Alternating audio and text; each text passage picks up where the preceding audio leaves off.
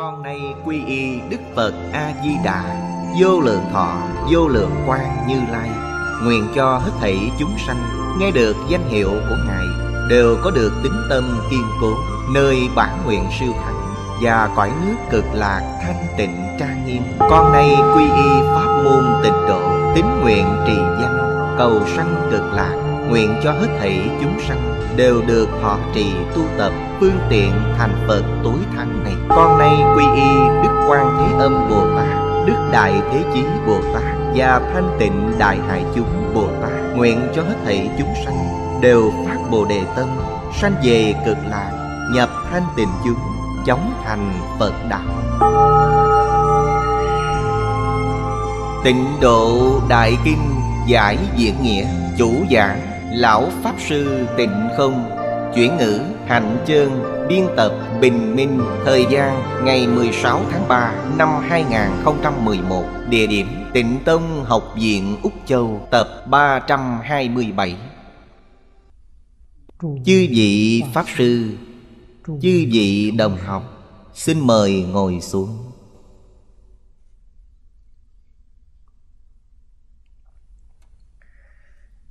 Mời mọi người xem Đại Thừa Vô Lượng Thọ Kinh Giải Trang 386 Hàng thứ tư Chúng ta bắt đầu xem từ đầu. Cố diễn ly hư ngụy điên đạo Thị di chân thật công đức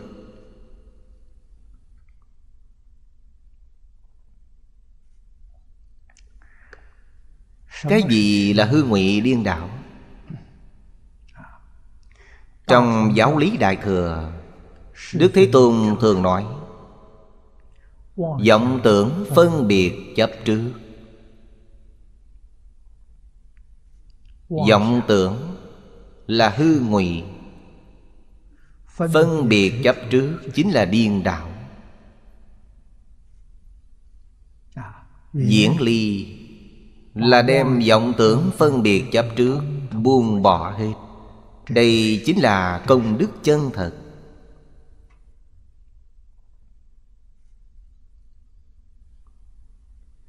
Hay nói cách khác công đức chân thật là nhất niệm bất sanh. Vì sao nhất niệm bất sanh là công đức chân thật? Nhất niệm bất sanh là chân tâm chân tâm vốn không dao động. Chân tâm vốn tự thanh tịnh. Chân tâm vốn tự đầy đủ có thể sanh ra muôn pháp. Đây là công đức chân thật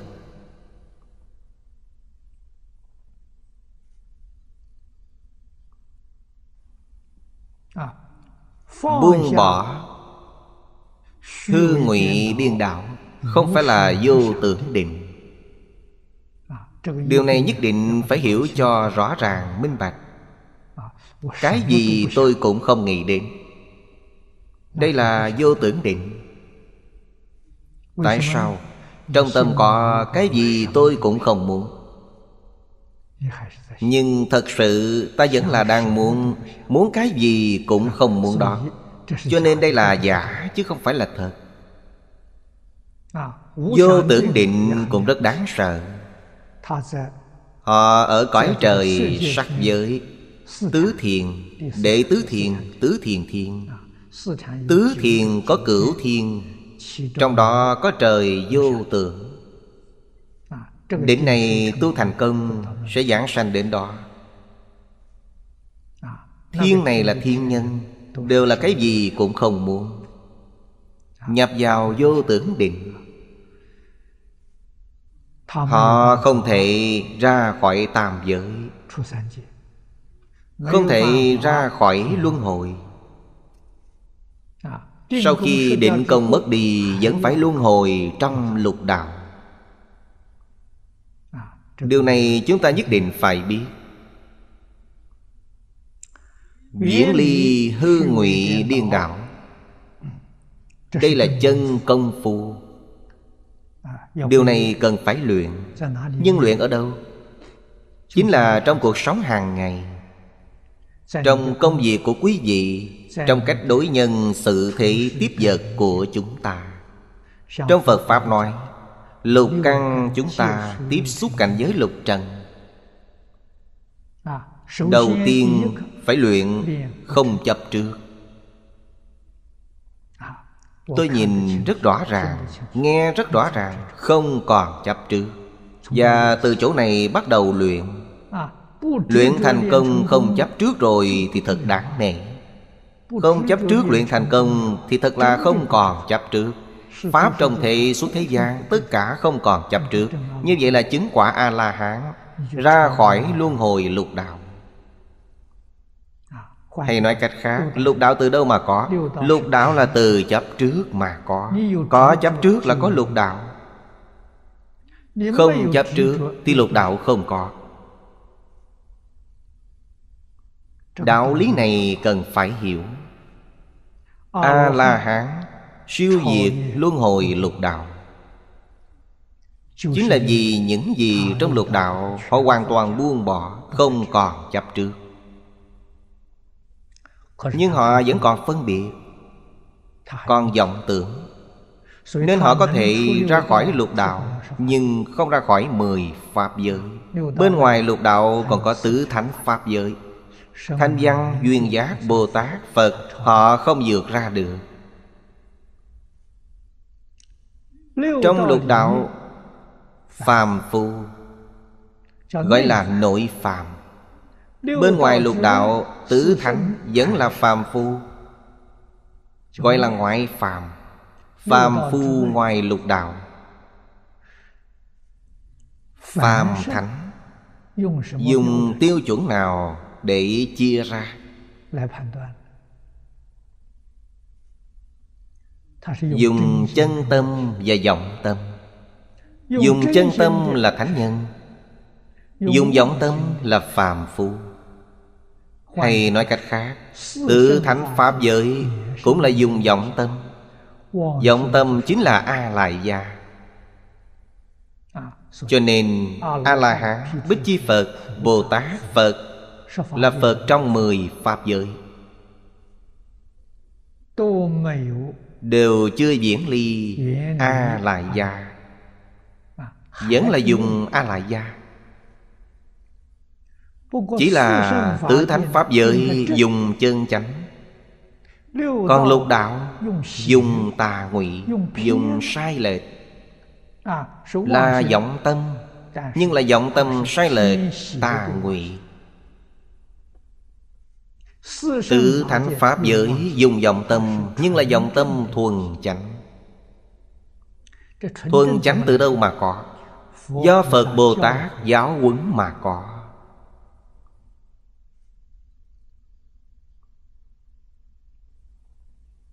Thật sự y giáo phụng hành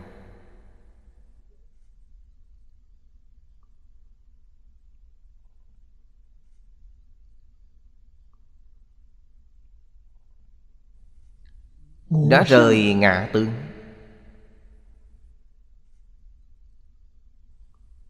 đã buông bỏ nhưng chưa rời ngã kiến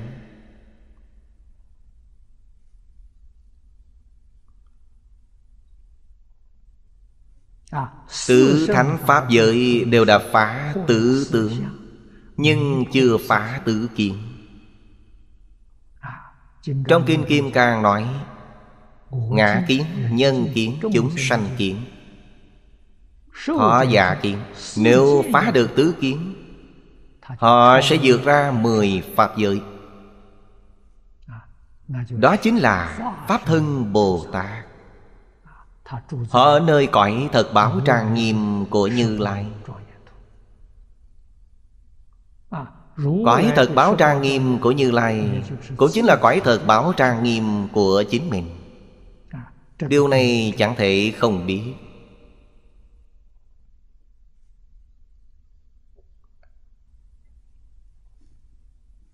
Ở chỗ này nói công đức chân thật. Địa vị này rất cao. Nhất niệm bất sanh. Cảnh giới này Là cảnh giới của Viên giáo sơ trụ Bồ Tát. Và biệt giáo sơ địa Trong Kinh Hoa Nghiêm. Cũng chính là những gì trong Thiền Tông nói. Phá nhất phẩm vô minh Chứng nhất phần Pháp thân. Thường nói đại triệt đại ngộ Minh tâm kiến tánh. Cảnh giới này là kiến tánh thành Phật Pháp thân Bồ Tát chân thật công đức. Chân thật công đức Tức vô lượng công đức. Vì sao?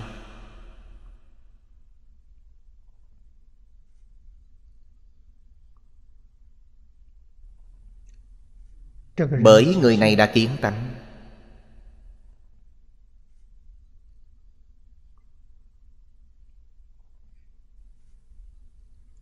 Cũng chính là họ chứng được Pháp tánh. Pháp tánh. Có thể sanh dạng Pháp. Trong Hoàng Nguyên Quán nói là Xuất sanh vô tận. Đây là vô lượng công đức. Cho nên Chúng ta đã chứng được công đức chân thật. Tự nhiên khởi tác dụng Chính là vô lượng công đức.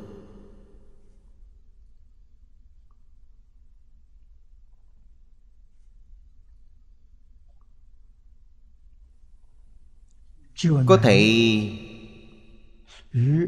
Đối với tất cả chúng sanh Có duyên trong biến pháp giới Hư không giới. Chúng sanh có duyên rất nhiều Vô lượng. Chúng sanh có cảm Quý vị có thể có ứng. Tự nhiên ta sẽ ứng.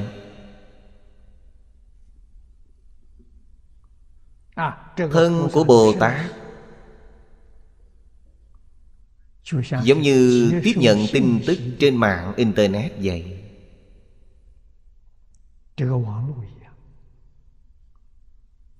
Tin tức của biến Pháp giới Hư không giới, Tất cả đều có thể nhận được. Nhận được lập tức sẽ có phản ứng, Chứ không phải không phản ứng. Giống như sau khi ta nhận được Thì liền đáp trả. Tin tức từ bên ngoài đến là hữu ý, Cũng có vô ý. Nhưng phản ứng của ta hoàn toàn vô ý.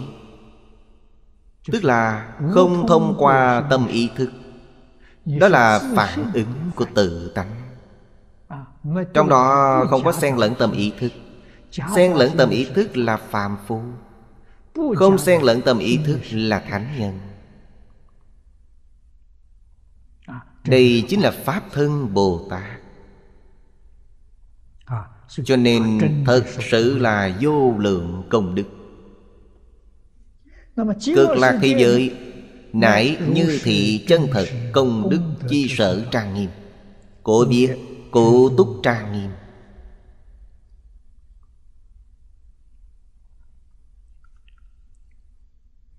Đây là nói cõi thật báo của thế giới cực lạc. Cõi thật báo không lạ Cõi thật báo của mười phương chư Phật Như Lai. Với cõi thật báo của thế giới Tây Phương cực lạ Không sai biệt Là bình đẳng Cho nên không lạ. Lạ nhất, thù thắng nhất của thế giới cực lạ. Là cõi đồng cư. Vì sao? Vì những vị Bồ Tát Trong cõi đồng cư Giảng sanh đến thế giới cực lạc chưa lâu. Nhưng trí tuệ Thần thông đạo lực của họ Với Bồ Tát trong cõi thực báo Gần giống nhau.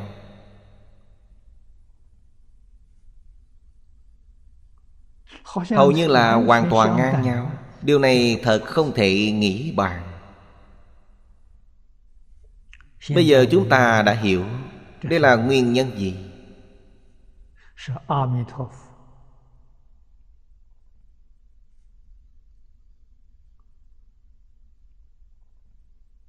Là đại nguyện từ bi của Phật A-di-đà Năm kiếp tu hành thành tựu. Công đức giá trị của chư vị Bồ Tát. Nghĩa là Giá trị cho những người giảng sanh này. Khiến những người giảng sanh này Mặc dù là hạ hạ phẩm giảng sanh Nhưng thần thông đạo lực của họ Với các vị Bồ Tát của cõi thật báo Đều tương tự.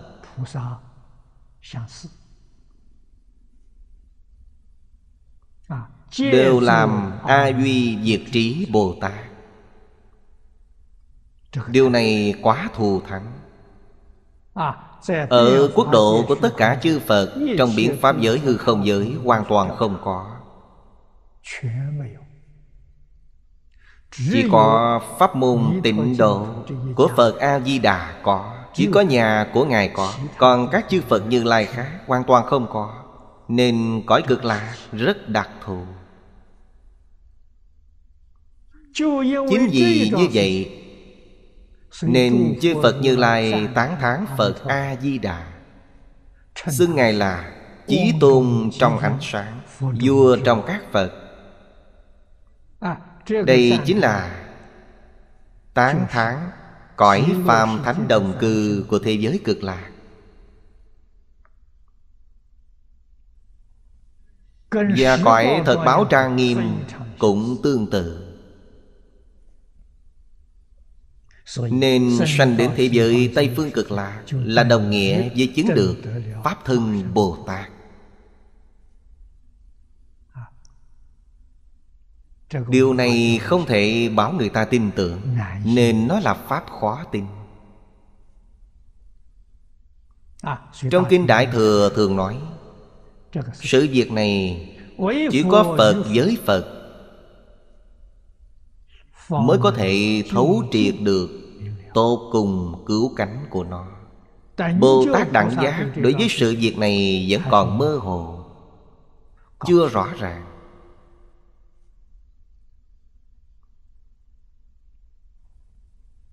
Nên chỉ có Phật với Phật Mới có thể thấu triệt rốt ráo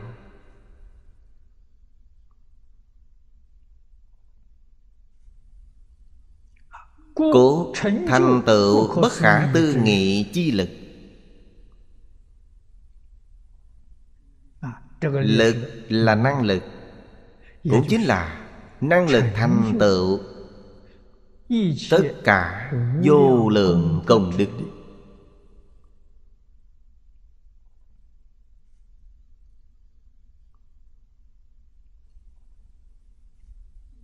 Tổng chỉ Bỉ Phật quốc độ. Thập thất Chủng trang nghiêm công đức lực Bất khả đắc tư nghị giả.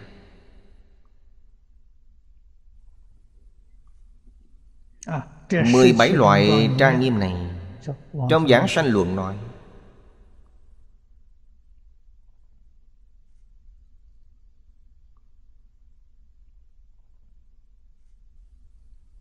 Chúng tôi không trích lục toàn bộ Chỉ trích lục đại cương.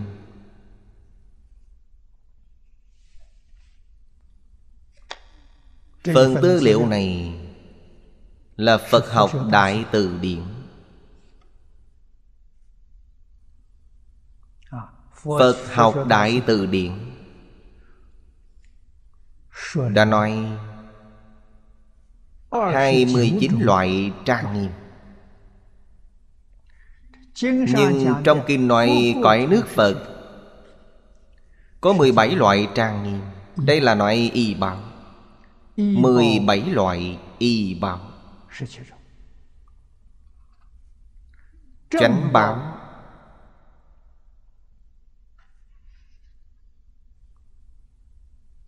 Phật có 8 loại, Bồ Tát có 4 loại. Tổng cộng có 29 loại. Chúng ta đem danh tướng của nó Giới thiệu đơn giản với mọi người.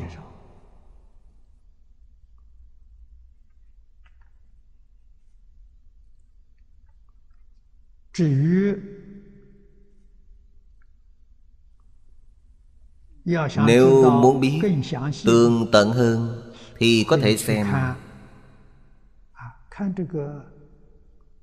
Trong Đại Từ Điển cũng có Trong Giảng Sanh Luận. Căn cứ trong Giảng Sanh Luận nói Đây là xuất phát từ trong Giảng Sanh Luận.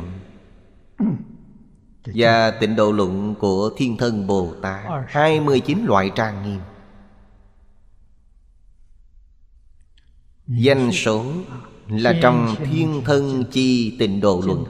Tịnh Độ Luận chính là Giảng Sanh Luận Quan sát. Di Đà Chi Tịnh Độ. Minh nhị thập cửu chủng chi trang nghiêm.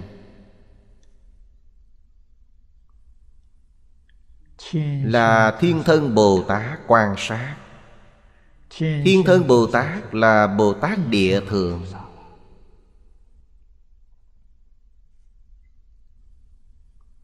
Ngài giáng sanh định thế giới cực lạc Đem việc Ngài tu như thế nào? Để giảng sanh đến thế giới Tây Phương cực lạc. Ngài thấy được gì? Y chánh trang nghiêm. Tất cả đều nói cho chúng ta Để ta cùng chia sẻ với mọi người. Cho nên Tịnh độ Tam Kinh Là Đức Thế Tôn giới thiệu Thế giới Tây Phương cực lạc cho chúng ta biết Bộ luận này của Thiên Thân Bồ Tát Chính là một bộ luận văn. Bài văn này là báo cáo tâm đắc của Ngài. Ngài y theo Tam Kinh Tịnh độ Tam Kinh Và tu thành công. Giáng sanh thế giới cực lạc Thấy y chánh trang nghiêm của thế giới cực lạc. Chứng minh cho chúng ta thấy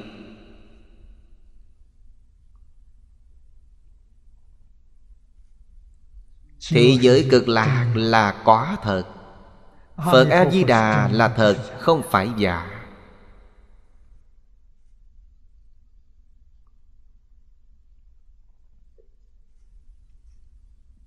Kỳ trung tịnh độ chi y bảo Tức khí thế gian. thanh tịnh. Hữu thập thức chủng. Tịnh độ chi chánh bảo Tức chúng sanh thế gian thanh tịnh Hữu thập nhị chủng. Y báo và chánh báo hợp lại có 29 loại. Chúng ta nói 17 loại của y báo trước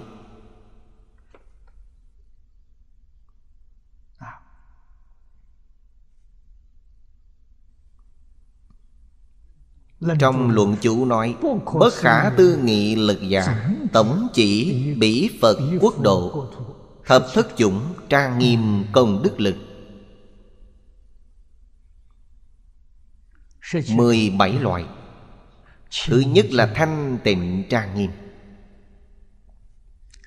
Thắng qua tam giới. Hữu lậu chi uế độ. Nhi vô lậu thanh tịnh giả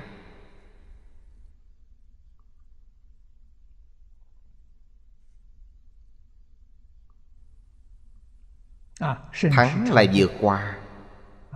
Thù thắng vượt qua Vượt lên trên. Tam giới Gồm dục giới Sắc giới Vô sắc giới. Trong quốc độ của tất cả chư Phật Đều có tam giới Đều có mười pháp giới Lục đạo là cõi uế của hữu lậu. Tứ thánh pháp giới là tịnh độ của hữu lậu.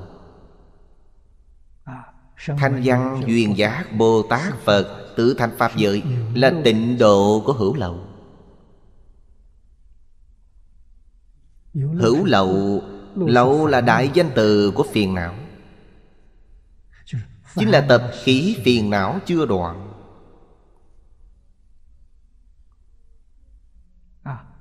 Nhưng tâm họ thanh tịnh Đã phá được bốn tướng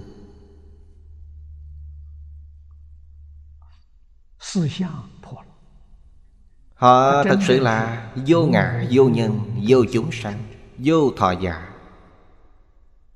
Đã phá bốn tướng Nhưng bốn kiến vẫn chưa phá được Nên họ vẫn là hữu lậu. Đối với tất cả Pháp trong thể xuất thế gian Họ không chấp trước.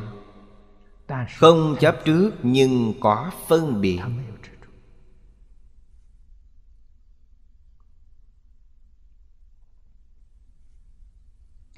Sự khác nhau của hữu lậu và vô lậu là chỗ này Ở đây nói thanh tịnh trang nghiêm là vô lậu thanh tịnh. Nên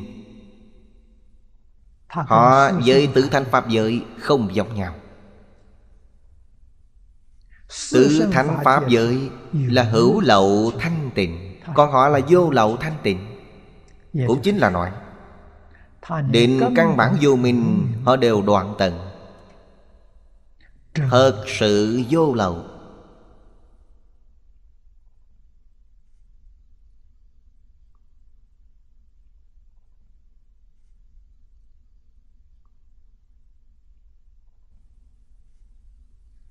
Thuần chân vô lậu chỉ có một người. Trong Kinh Hoa Nghiêm nói là Diệu giác Phật quả. Đó là thuần chân vô lậu. Bốn mươi 41 vị Pháp thân đại sĩ. À, Trong Hoa Nghiêm. Viên giáo Có thập trụ Thập hành Thập hồi hướng, Thập địa Và đặng giác.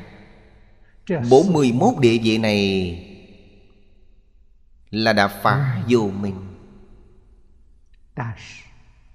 Nhưng tập khí của vô minh Thì chưa đoạn, Nên họ là thật sự vô lậu, Nhưng vẫn còn mang theo tập khí. Không phải là thuần chân. Thật vậy, họ chưa phải là thuần chân.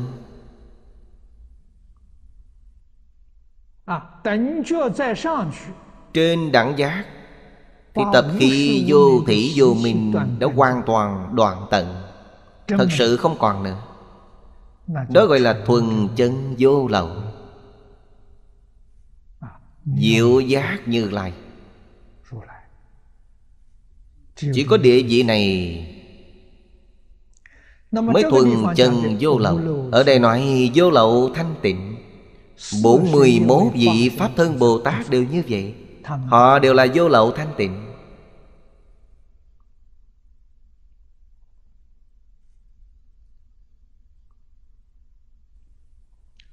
Nhưng thuần chân vô lậu thanh tịnh chỉ có một người. Đó là diệu giá. Diệu giá không trú ở cõi thật bảo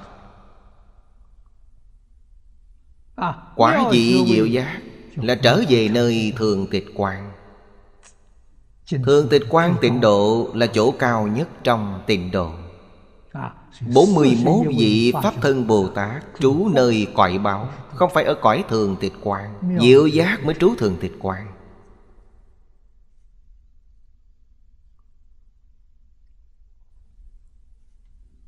Nhưng vẫn vượt qua cõi uế hữu lậu của tam giới đây là chỉ chỗ nào？Không phải chỉ cõi thật bảo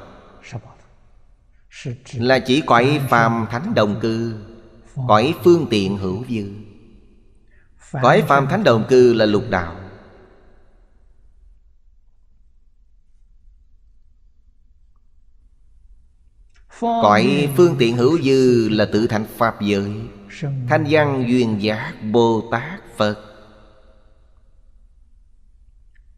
Thù thắng là ở chỗ này.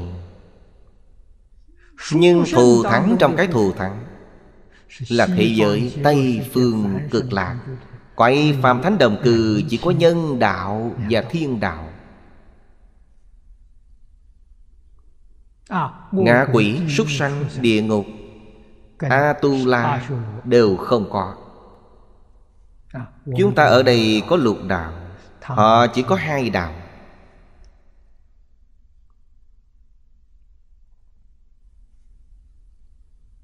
Đây là thanh tịnh trang nghiêm. Vượt qua quốc độ của chư phật trong mười phương.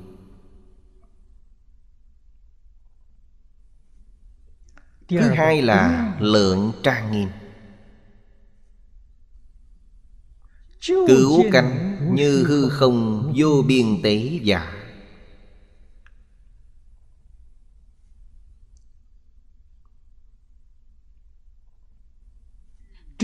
Đây cũng vượt qua thế giới tha phương.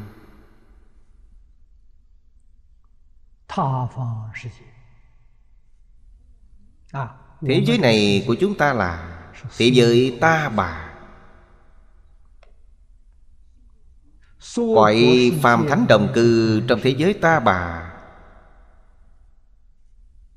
Là hữu lượng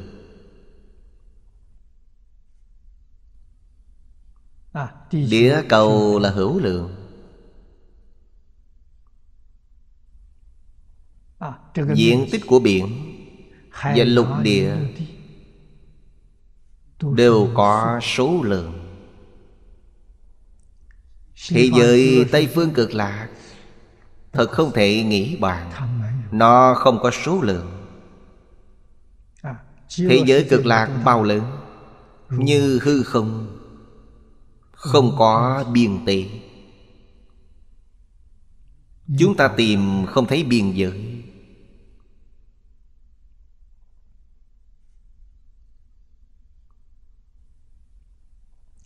Thật sự quá lớn. Vì sao nó lớn như vậy mà không có biên tế?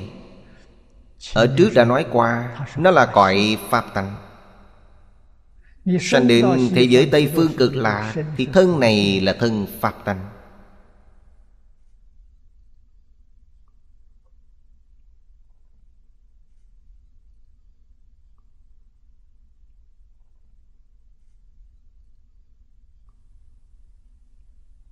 À, Thân này của chúng ta là Cảnh giới tướng của A Lại Gia. Là tướng phần của A Lại Gia Chúng ta khởi tâm động niệm đều có thể suy nghĩ, Là kiến phần của A-lại gia Hiện tượng vật chất là tướng phần của A-lại gia Kiến phần và tướng phần của A-lại gia là có sanh, có diệt. Là nhiễm ô, không phải thanh tịnh. Là hữu lượng, không phải vô lượng. Thế giới cực lạc với chúng ta Rốt cuộc có chỗ nào không giống nhau? Chúng ta cần phải hiểu cho rõ ràng, minh bạch. Như vậy chúng ta mới xả bỏ được Ba tướng di tế của A-lại gia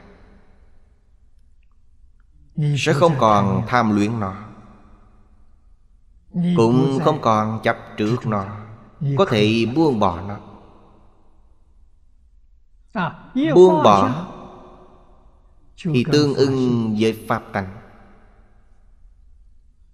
Vì ba tướng di tị của A-lại gia Chướng ngại chúng ta kiến tánh.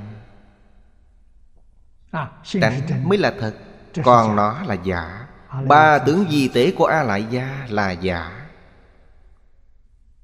Buông bỏ là minh tâm kiến tánh Buông bỏ chính là Pháp thân Bồ Tát. Buông bỏ là siêu việt mười Pháp giới.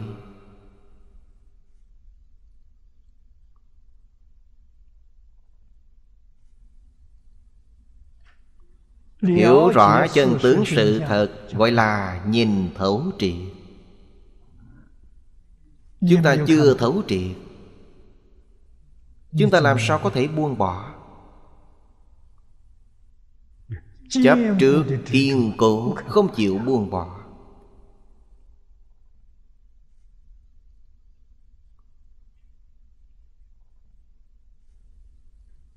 Khi hiểu rõ chân tướng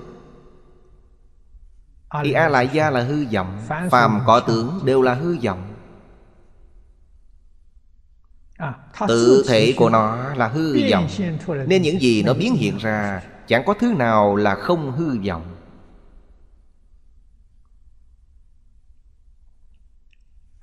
Buông bỏ hư vọng sẽ thấy chân thật.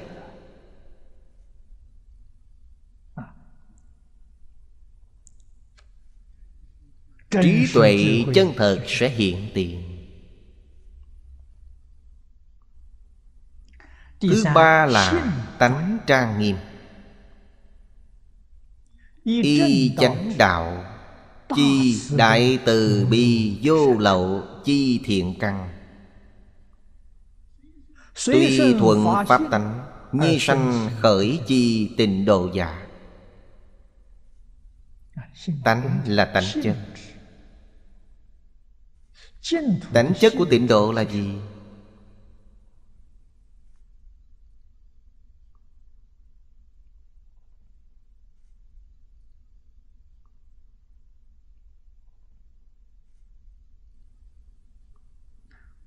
Tánh chất của địa cầu này là vật chất.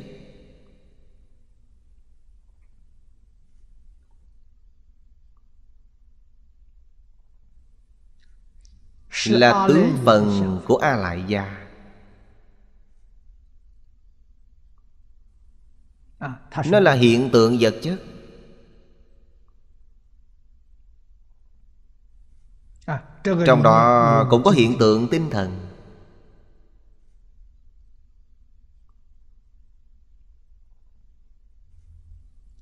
Nếu muốn nói chân tướng Thì trong tất cả hiện tượng vật chất Đều xen lẫn hiện tượng tinh thần.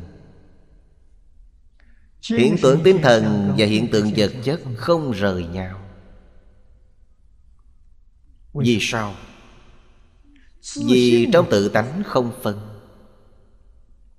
Trong chân tâm không phân Nên trong vọng tâm cũng không phân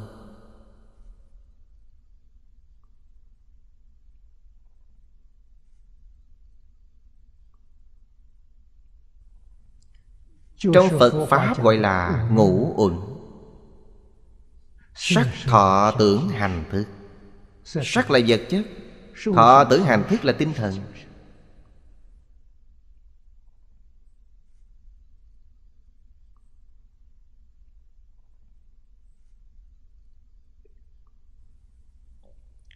Nó từ đâu biến hiện ra. Nghiệp tướng của A lại gia. Nghiệp là gì? Nghiệp Khoa học ngày nay gọi là chấn động. Tần suất.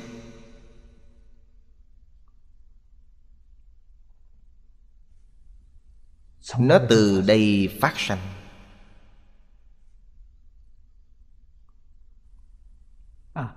Chấn động của A Lại Gia Thì tần suất là một duyên.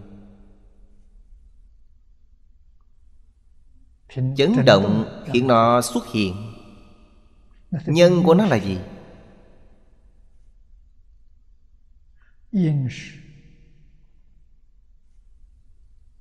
Trong lục tổ đàn kinh Nói Đâu ngờ tự tánh vốn tự đầy đủ. Đó là nhân. Thông thường trong Đại Thừa Kinh Nói là Nghiệp tập chủng tử Trong A Lại Gia Là nhân.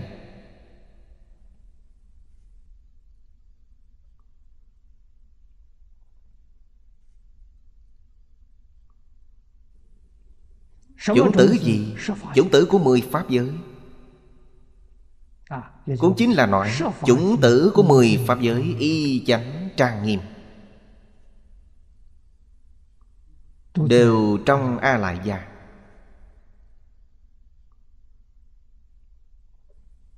à, Vì có chủng tử này Nên khi bất động Nó sẽ không khởi tác dụng. Nhưng khi vừa có tần suất chấn động Nó liền khởi tác dụng. Biến hiện ra Mười pháp giới y chánh trang nghiêm Mười pháp giới y chánh trang nghiêm Không phải bộc phát lớn như khoa học nói Mà là chủng tử của A Lại Gia khởi hiện hành. Bộc phát lớn là chấn động Là tần suất.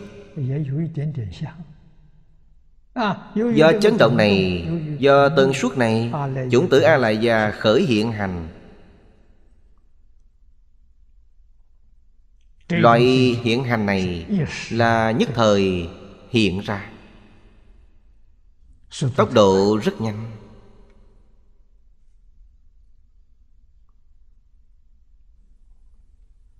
Nhưng cũng có một chút mùi vị bộc phát trong đó.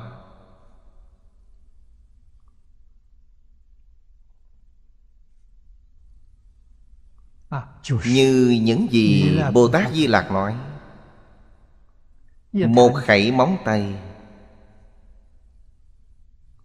Có ba mươi hai ức trăm ngàn ý niệm. Một niệm chính là một tần suốt một lần chấn động.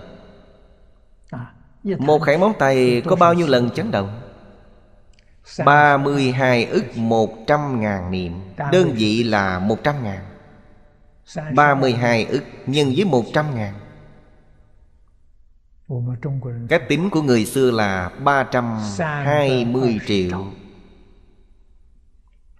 Một khẩy móng tay chấn động bao nhiêu lần?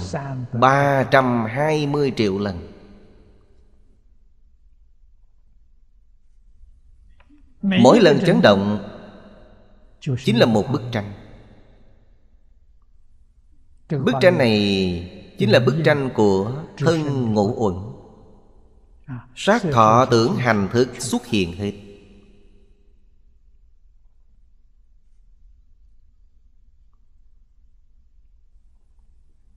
Khi chấn động này dừng lại Màn hình này cũng không còn nữa.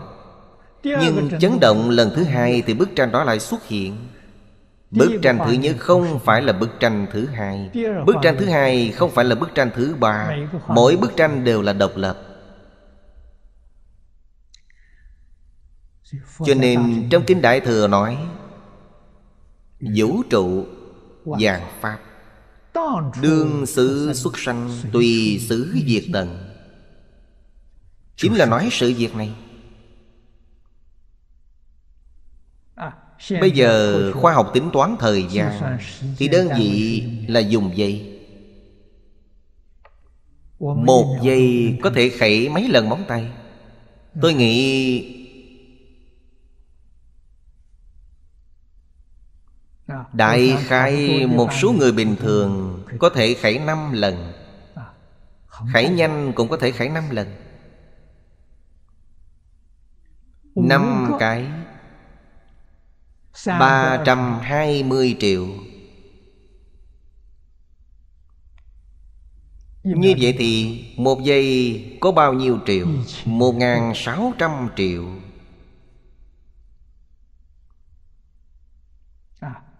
Một giây chấn động tần suất bao nhiêu lần? Một ngàn sáu trăm triệu lần.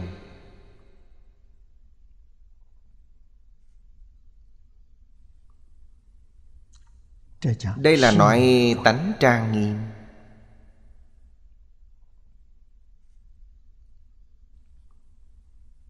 Chúng ta không biết nó là giả Chúng ta xem điện ảnh.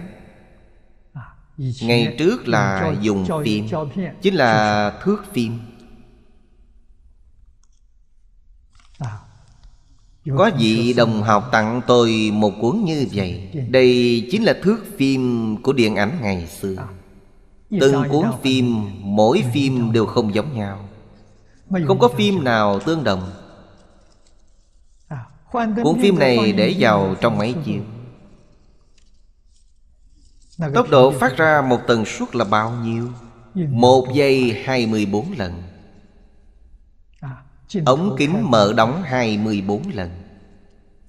Cũng chính là nói Thời gian bức tranh này dừng lại trên màn hình. Là một giây trên 24 lần.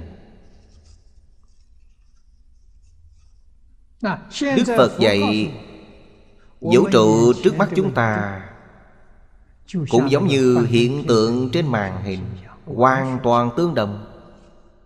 Tốc độ rất nhanh Một giây là một sáu trăm triệu. Nhưng điện ảnh thì một giây là 24 lần. Hoàn cảnh thực tế hiện nay của chúng ta Thì một giây là 1.600 triệu tần suất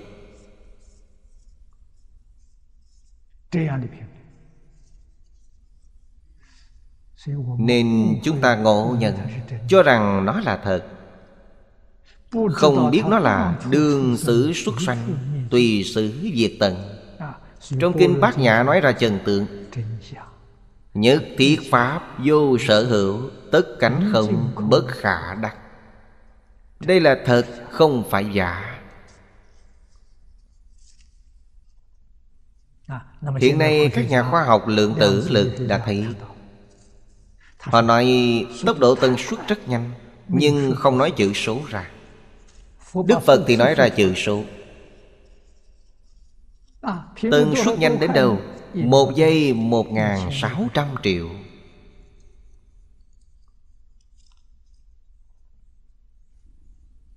Đương xứ xuất sanh Tùy xứ diệt tận này, Các nhà khoa học biết. Nhưng đối với tốc độ cuối cùng Nhanh bao nhiêu Các nhà khoa học hiện nay không nói. Chỉ nói là rất nhanh.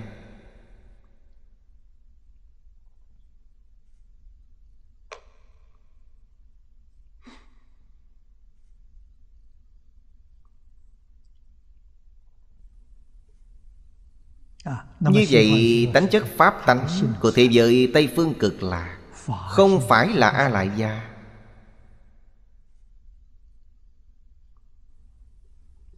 Nên nó thanh tịnh Nó vô lượng.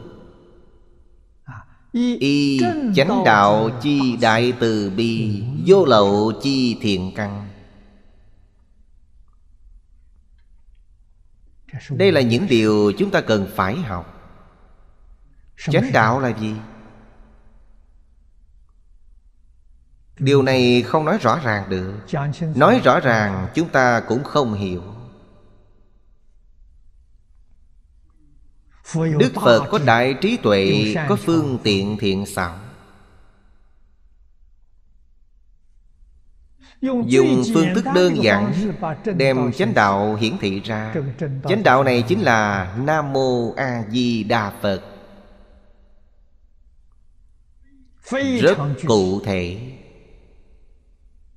Nếu có thể thật sự tin tưởng thật sự tiếp thu thì đem phật a di đà để vào trong tâm trước đây thầy lý dạy học sinh chúng tôi người học phật cần phải đổi tâm.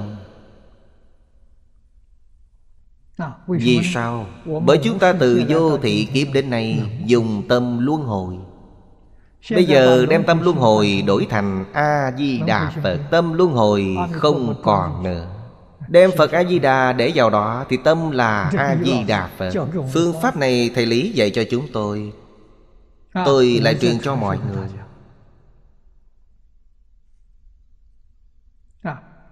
Giống như khai thị của Trung Phong Thiền Sư trong tam thời hệ niệm. Tâm ta tức là Phật A-di-đà. Phật A-di-đà tức là tâm ta. Sau khi đổi tâm Thì câu ở dưới là đang thực hiện. Nơi đây chính là thế giới cực lạc Thế giới cực lạc chính là nơi đây. Vì sao? Vì cảnh tùy tâm chuyển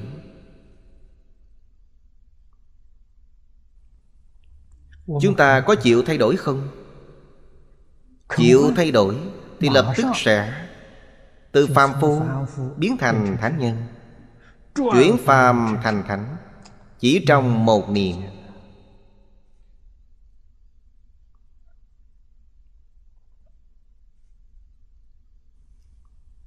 Vì sao câu A-di-đà Phật này Có thể tượng trưng cho chánh đạo? Ở trước giảng qua rất nhiều lần.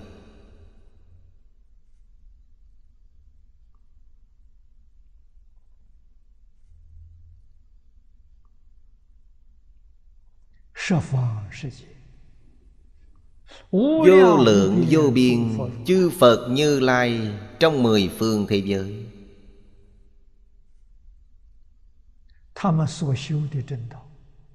sở tu sở trú sở hành sở truyền của các ngài đều là chánh đạo.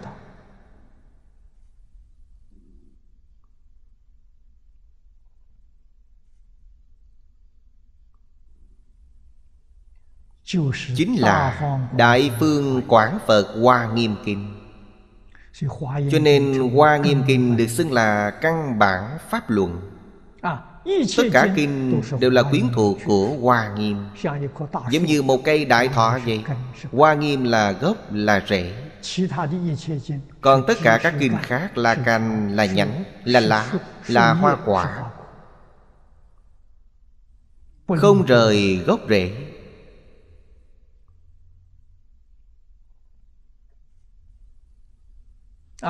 Cuối cùng của Hoa Nghiêm là Phổ Hiền Bồ Tát Thập Đại Nguyện Dương Đạo Quy Cực Lạc. Nên cực lạc là căn bản chủ yếu trong các căn bản.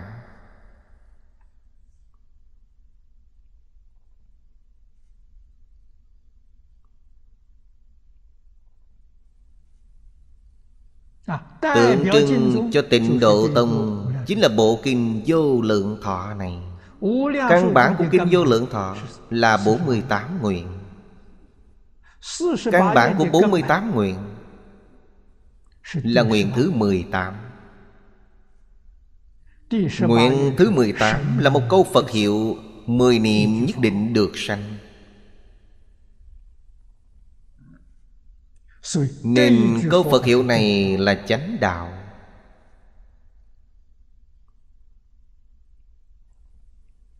Chúng ta không biết Không hiểu rõ tác dụng của câu danh hiệu này Nên mới đi tìm cái này tìm cái kia Tìm phương pháp nào cũng trị không lành khuyết điểm của chúng ta Chỉ có câu Phật hiệu này Nếu câu Phật hiệu này vẫn trị không lành Thì nguyên nhân do đâu? Nguyên nhân là không tin tưởng và hoài nghi nó Chúng ta cứ cho rằng nó quá đơn giản Nhưng làm gì có đơn giản như vậy? Đây là do ta không nhận thức được giá trị của nó.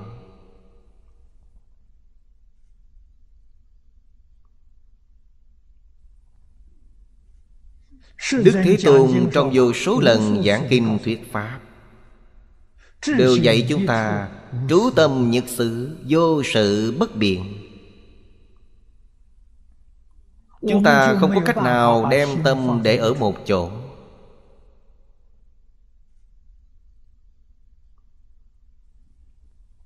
Vì trong tâm vọng niệm quá nhiều. Nên tâm không thể trụ ở một nơi. Tâm trụ được một nơi Thì vấn đề sẽ được giải quyết. Bây giờ dạy quý vị trụ ở nơi nào? Trụ ở nơi Phật A-di-đà Phật A-di-đà chính là chánh đạo Thật sự đã trú tâm một chỗ rồi. Thì đại từ đại bi trong tự tánh liền hiện ra. Thiện căn vô lậu hiện tiền.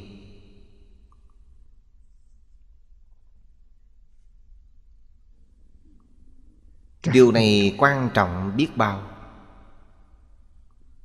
Sau đó tự nhiên có thể tùy thuận Pháp tánh Mật khởi tịnh độ. Thế giới Tây Phương Cực Lạc là cõi tịnh độ Do Phật A-di-đà. Tùy thuận Pháp tánh mà sanh khởi.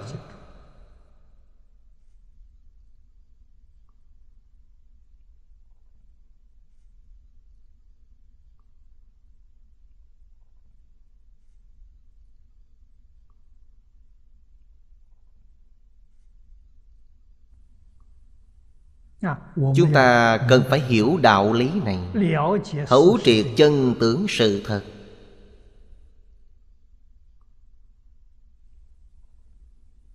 À, thì trong đời này mới thật sự thành tựu.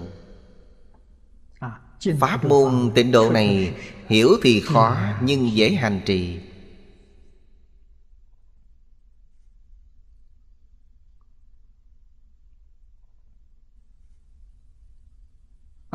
chúng ta tu hành không tương ưng là vì nhận thức và hiểu về nó chưa đủ.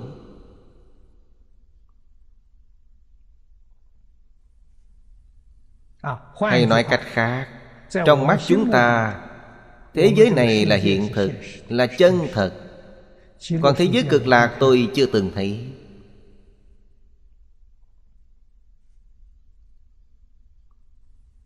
Nên đối với thế giới này Quá lưu luyện Tiếc nuôi không buông bỏ được. Thế giới Tây Phương cực lạc quá mơ hồ. Cuối cùng là thật hay là giả? Sau khi tôi buông bỏ đến đó Buông bỏ chỗ này Lỡ may bên đó không như ý Thì biết phải làm sao? Nếu lo lắng này không thể quá dài,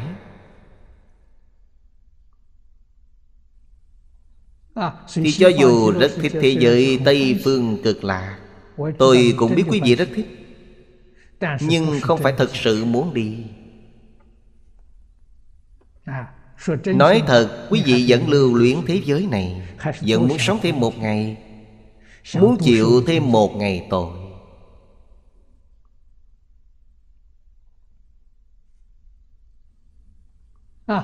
Nếu thật sự đã hiểu rõ ràng minh bạch Thì không còn một chút do dự nào.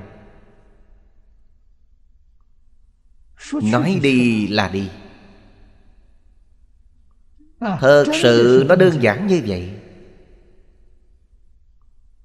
Nhanh chóng như vậy.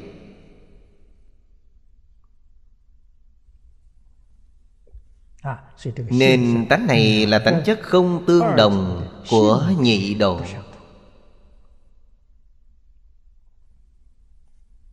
Ở đó là Pháp tánh biến hiện. Còn ở đây là A Lại gia biến hiện. Nó không giống nhau. Thứ tư là hình tướng trang nghiêm. Tịnh độ thanh tịnh Quang minh mạng túc. 如 Như minh cảnh Nhật nguyệt luân giả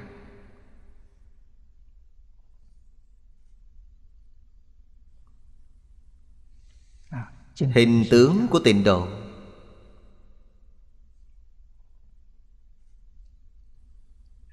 Hình là hình thể Tướng là tướng mạo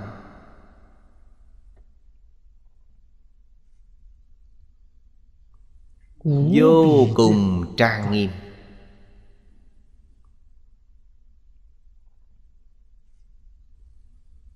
À, thanh Thanh tịnh là không nhiễm một chút trần nào. Thanh tịnh là gì? Thông thường chúng ta nói là phước báo Quang minh là trí tuệ.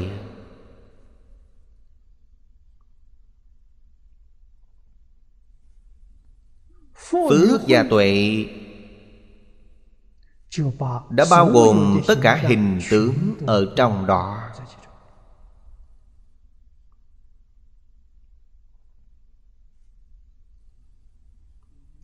Khi chúng ta đọc Tam Quy Y, Xưng là Quy Y Phật Lượng Túc Tôn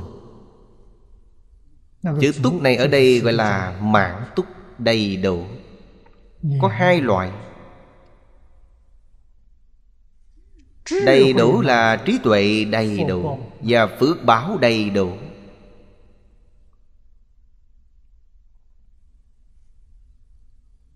Ở đây nói Tịnh độ thanh tịnh. Là phước đức viên mãn. Quang minh là trí tuệ viên mãn. Hai loại viên mãn thành tựu Hình tượng trang nghiêm Của thế giới cực lạc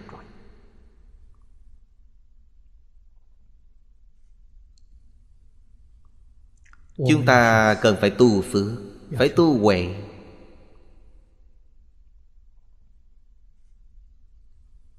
À, Phước huệ học ở đâu?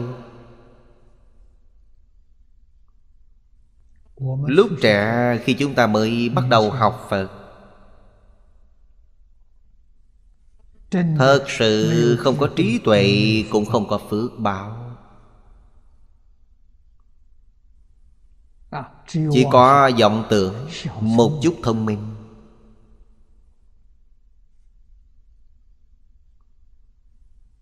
À, Nhưng thầy giáo rất giỏi.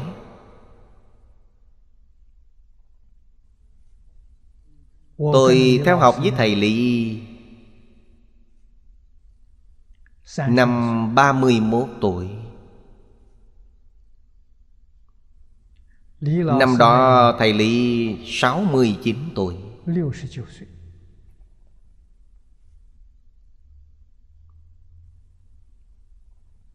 Lớn hơn tôi 39 tuổi.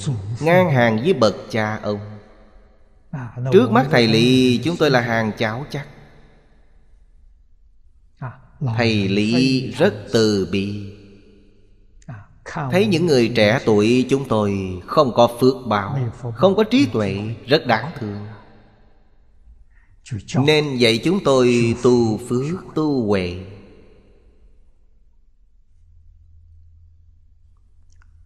Phương pháp tu phước tu huệ thù thắng nhất. Chính là học tập và giảng kinh. Chúng tôi khoảng bốn người bạn học. Tôi là một trong số đó. Không có phước, không có tuệ Lại còn không có thọ mạng Tướng yếu mạng.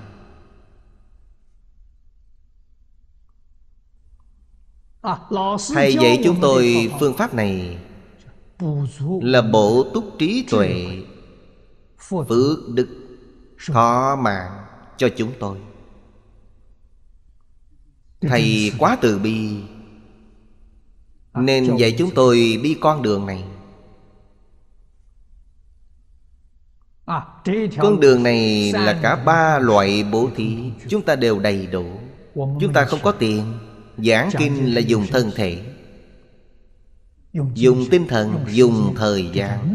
Đây gọi là nội tài bố thí. Nội tài bố thí thì được phước báo còn nhiều hơn, còn thù thắng hơn so với ngoại tài bố thí. Gọi nội tài bố thí. Học tập phật pháp. Khuyên người làm thiện. Khuyên người niệm phật giảng sanh. Đây là pháp bố thí. Vô ủy bố thí tự nhiên có trong đó. Nên ba loại bố thí đầy đủ. Chính là làm một mà được ba. Đây là thầy lý dạy chúng tôi. Chúng ta thật sự tin tưởng Thật sự y giáo phụng hành Như vậy là đã đạt được. Đặc biệt là tôi, Chính tôi biết là Mình không có phước báo, Không có thọ mạng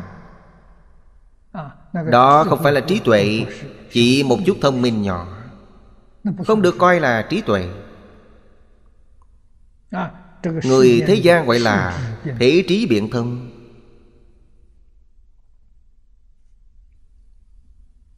Cho nên đặc biệt siêng năng học với thầy lý.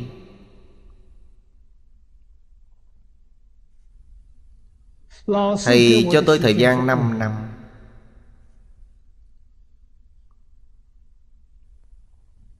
Khi vừa tròn 5 năm Tôi xin Thầy cho tôi học tiếp 5 năm. Tôi theo Thầy 10 năm.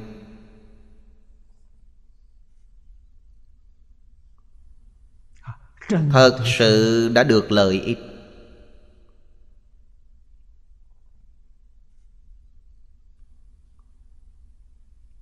Nên quyết định này không phải là giả.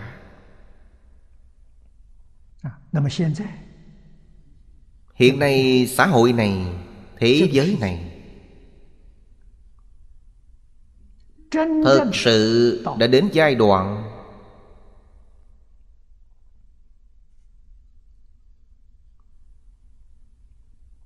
Tôn vong.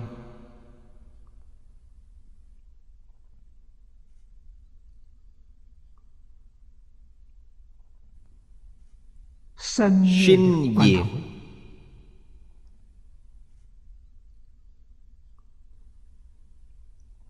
nếu không có người đến cứu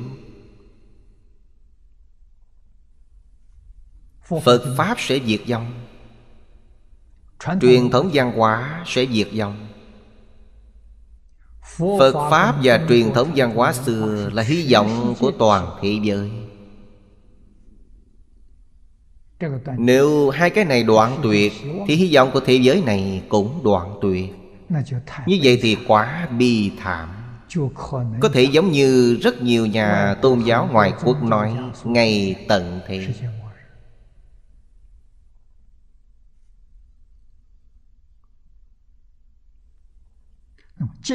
Ngày nay nếu quý vị phát tâm đến cứu giảng Thì công đức này lớn biết bao Quá lớn.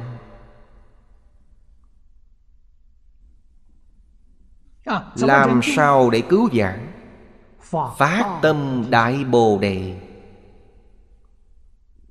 Tinh tấn tu hành Hoàng Pháp lợi sanh.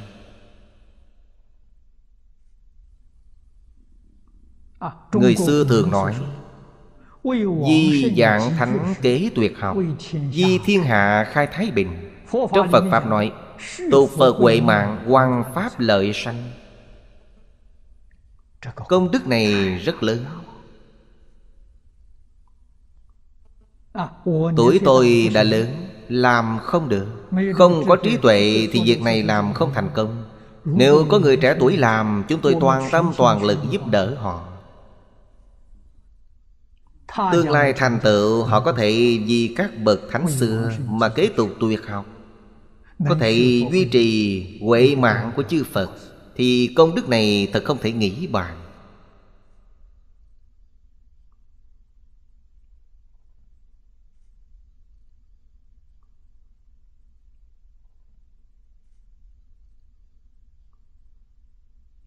À, Malaysia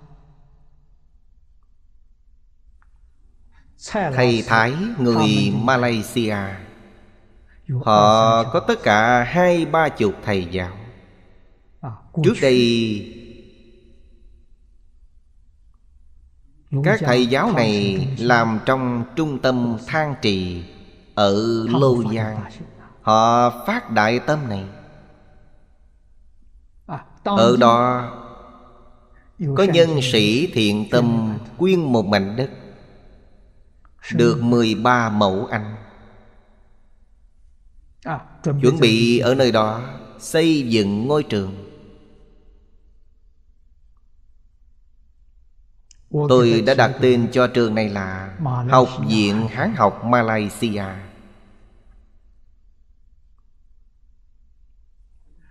Được lãnh đạo ở đây ủng hộ. Khi học viện này hoàn thành Hiện nay có trong tranh Các vị giáo thọ này ở đó, Truyền bá, Truyền thống văn hóa, Truyền bá Phật Pháp Đại Thừa. Toàn thế giới có thiên tài, Nhưng ở chỗ đó không có thiên tài.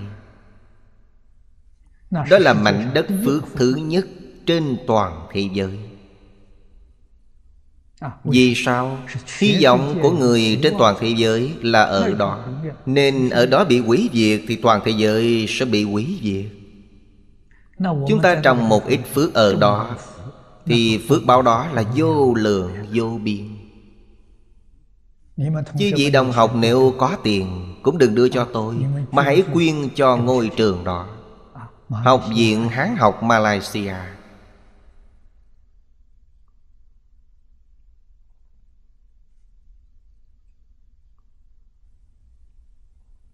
Tôi toàn tâm toàn lực ủng hộ họ.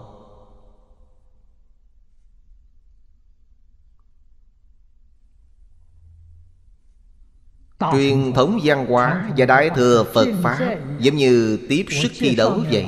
Tôi nhận cây chày bên trên của thầy Bây giờ giao lại cho họ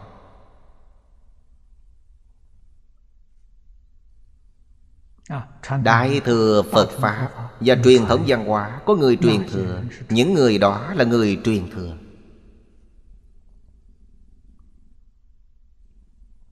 Họ ở nơi đó học tập, tôi tin tưởng. Thật sự tin tưởng. Thành tựu của họ trong tương lai vượt qua tôi rất nhiều.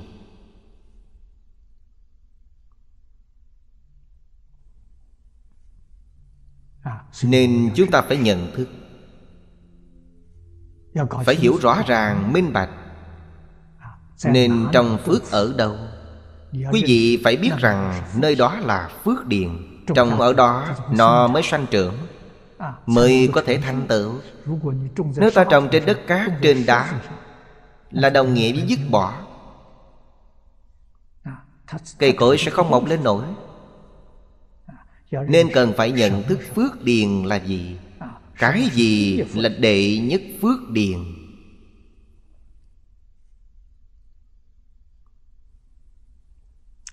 Thứ năm là Chủng chủng sự trang nghiêm. Bị chư trân bảo Cụ túc diệu trang nghiêm giả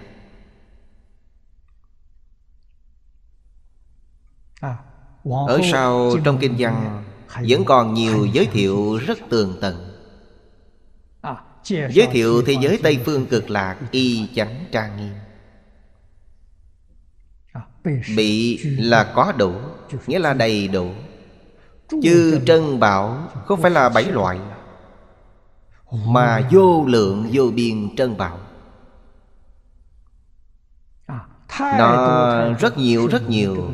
Thế gian này của chúng ta không có không nói nữa. Vì nói nữa chúng ta cũng không hiểu Cũng chưa nghe qua Cũng chưa thấy qua. Chỉ sơ lược đưa ra vài loại Mà trên thế giới này có. Nơi định kim ngân, lưu ly Mã não, những vật này Đưa ra những ví dụ này. Vì thế gian này của chúng ta có Nếu không có thì không nói nữa. Đầy đủ diệu trang nghiêm.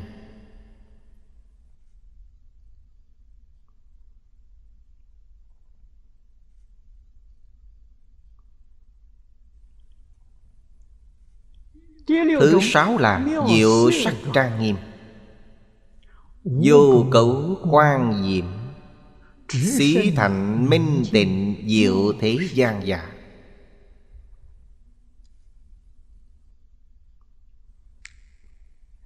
Thế giới cực lạ Không có mặt trời và mặt trăng.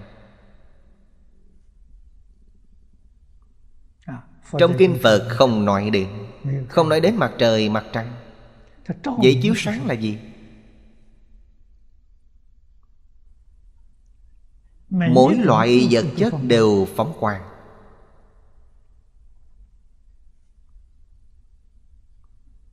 Trên thân của mỗi người đều phóng quang. Quang minh thị giới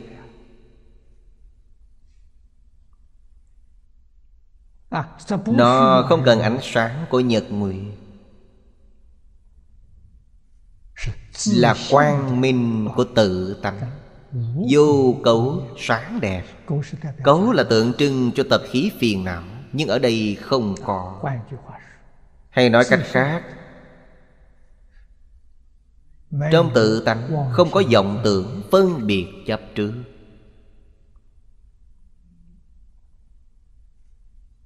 Tự tánh thuần tịnh thuần thiện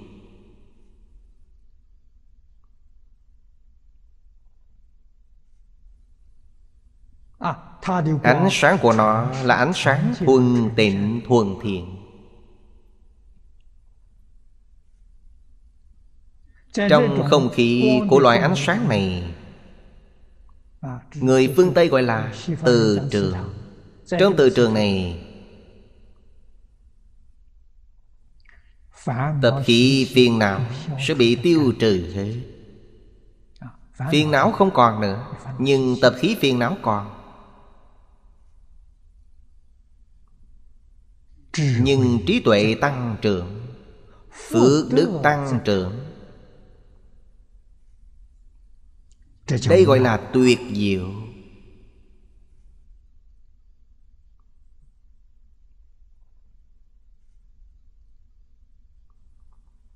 À, Xí thành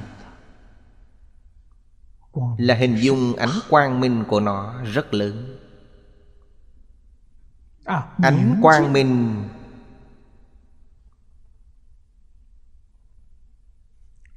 thuần tịnh chiếu diệu thế gian.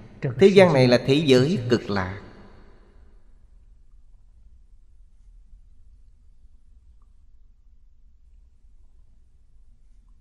Tứ độ quang minh tràng nghiêm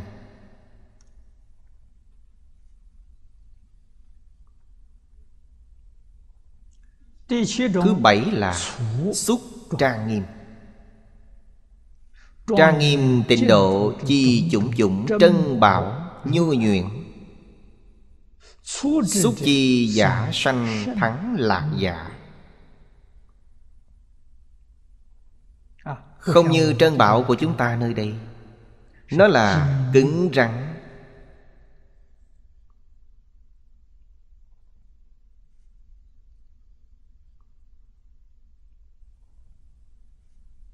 à, Như kim ngân. Trân châu Mã não à, lưu, ly Pha lê.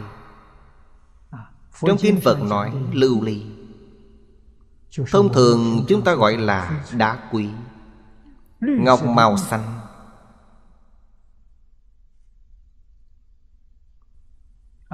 Pha lê trong kinh Phật nói bây giờ Chúng ta gọi là thủy tinh. Nó là tự nhiên.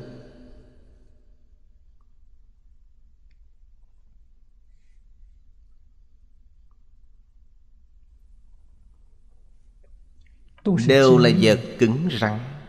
Những thứ này ở thế giới Tây Phương cực lạc Nó là mềm Rất mềm mại Giống như bông gòn vậy Như bông tầm vậy Rất mềm mại. Những bảo vật này khi ta tiếp xúc nó Cảm giác rất thoải mái. Nó cũng phóng quang Mềm mại.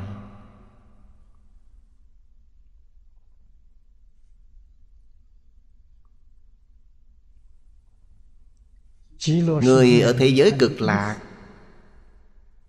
Mặc y phục toàn là trân bảo Chúng ta thấy trân bảo đó rất cứng rắn Mang trên người thật không dễ chịu. Đâu biết rằng trân bảo của người bên đó là mềm mại Còn mềm mại hơn so với giải của chúng ta. Giống lụa là vậy Như tơ lụa dệt thành Vừa nhẹ vừa mềm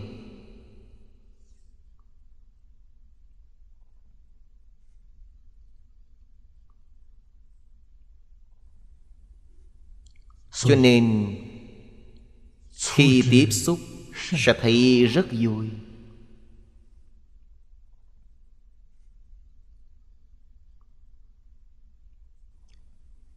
Thứ tám là tam chủng trang nghiêm. Tam chủng ở đây là nói Nước Đất Hư không Của thế giới cực lạc. Đại địa của thế giới cực lạc là trân bảo Vô lượng trân bảo.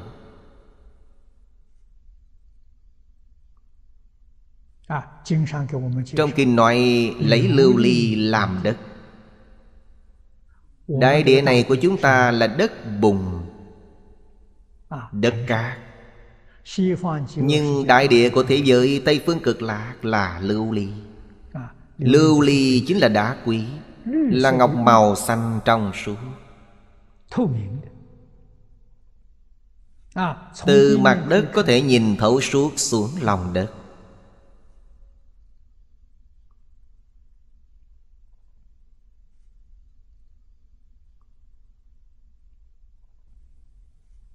Nước Nước tám công đức.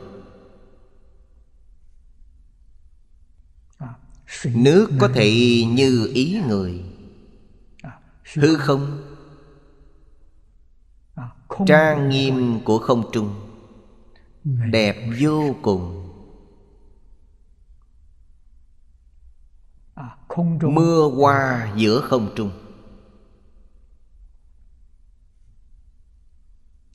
Quý vị xem hoa từ trên không trung rơi xuống.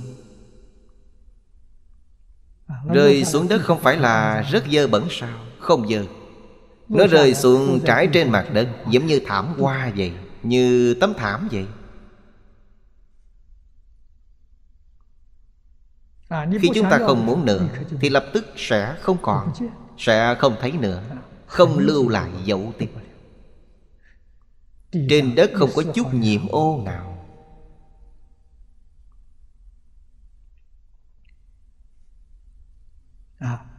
Đây là ba loại trang nghiêm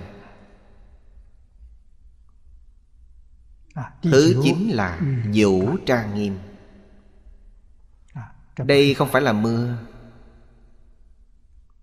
Mưa là từ trên rơi xuống.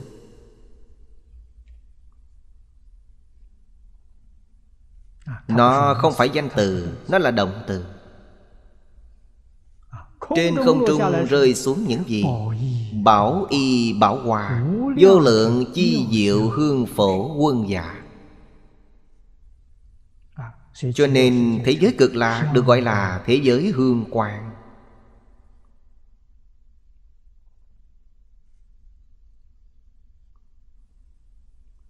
Ngửi đến không khí Không khí là hương thơm, Là bảo hương.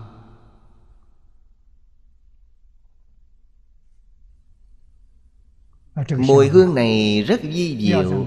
Di diệu ở đâu? Có thể giúp chúng ta ướp hương cho tập khí phiền não. Nó có năng lực này. Có thể nuôi dưỡng pháp thân quậy mạng. Chính là có thể giúp ta tăng trưởng trí tuệ.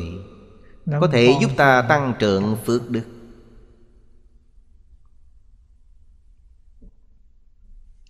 Cũng chính là nói, Muôn sự muôn vật Trong thế giới cực lạc.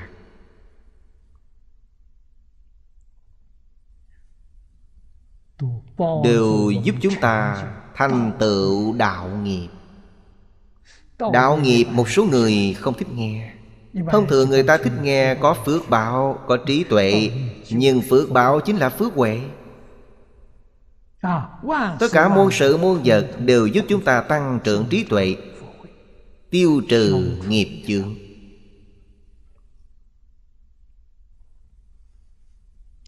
Quý vị nói thế giới này có thể không đi chăng?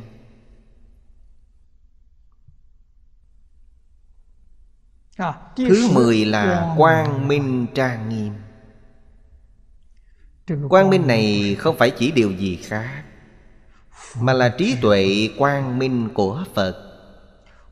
Phật huệ minh tịnh chi nhật Trừ thế chi si minh giả. Nhật ở đây là ví dụ. Trí tuệ quang minh thanh tịnh của Phật Giống như mặt trời vậy.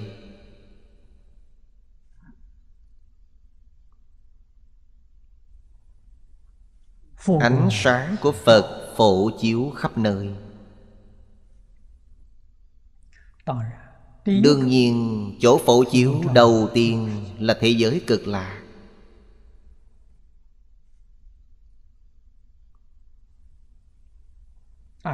Sau đó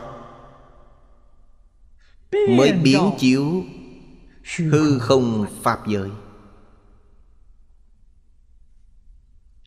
Phật quan của Phật A-di-đà Vô lượng vô biên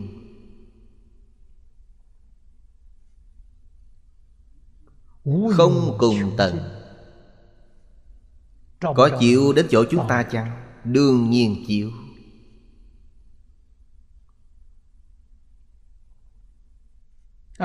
Phật quan ở đâu?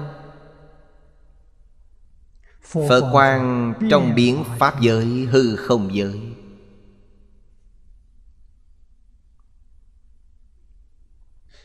Chúng ta hầu như không cảm giác được. Đó là vì nghiệp chướng của chính mình. Nó không phải không chiếu chúng ta, Có chiếu chúng ta. Chỉ vì chúng ta có nghiệp chướng Nên không để nó chiếu đến. Không muốn tiếp xúc Nên nó không chịu đến.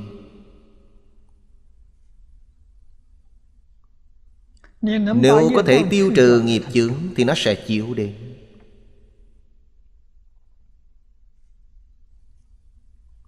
À, Tất cả chúng sanh trong ánh sáng của Phật. Tiếp nhận được sự gia trì của Phật A-di-đà bao nhiêu Mỗi người đều không giống nhau. Vì sao? Vì thiện căn phước đức nhân duyên của mỗi người không giống nhau.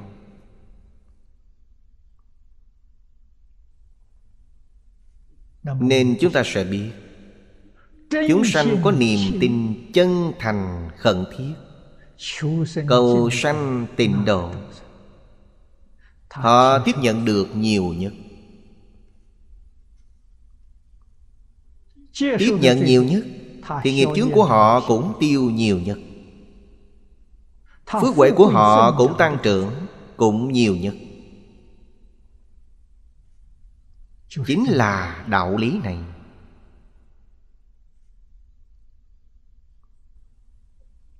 Chư Phật Như Lai trong mười phương. Đều khuyên chúng ta nên tin Phật. Vì sao? Bởi ta sẽ được lợi ích của Phật quang chiếu diệu. Nếu ta không tin và hoài nghi Thì không còn cách nào khác. Phật đối với tất cả chúng sanh vĩnh viễn là bình đẳng Thường được tắm trong ánh hào quang của chư Phật. Người này làm sao có thể không khai trí tuệ? Công năng của nó là trừ ngu si tối tâm của thế gian. Si là ngu si. Minh là ngu đần khờ khạo. Chúng ta thường gọi là tê liệt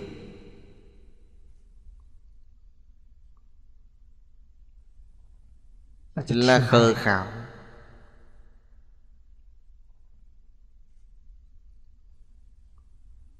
khờ khạo từ đâu mà có? Nó là quả báo do nghiệp bất thiện tích lũy.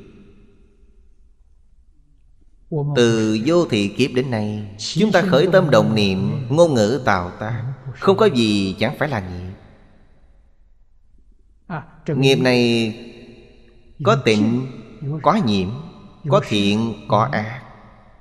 ta thử nghĩ xem nghiệp mà chúng ta tạo là nhiễm hay tịnh?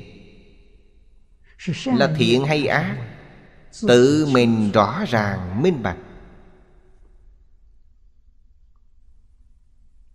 Nếu khởi tâm động niệm ngôn ngữ tạo tác là thiện thiện là gì? Là lợi ích chúng sanh Bất thiện là gì? Bất thiện là tự tư tự lợi. Điều này cần phải biết. Tự tư tự lợi thành ra khờ khạo.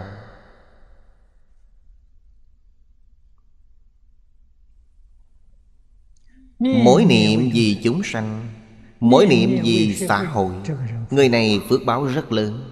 Người này có chân trí tuệ. Họ tuyệt đối không bị khờ khạo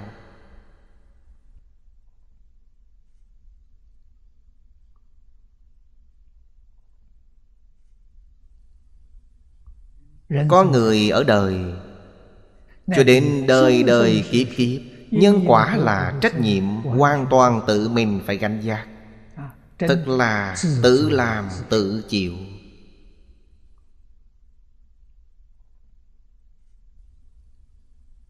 À, Phước báo của chúng ta không phải người khác cho Là thiện nghiệp do chính mình tạo ra Những tội nghiệp mà chúng ta chịu Cũng là do chính mình gây nên Cũng không phải là người khác thêm vào. À, Nghiệp duyên quả báo không sai chút nào. Điều này chẳng thể không biết. À, Sau khi đã thực sự hiểu rõ rồi Chẳng những không dám tạo ác nghiệp Đến cả ý niệm ác cũng không dám nghĩ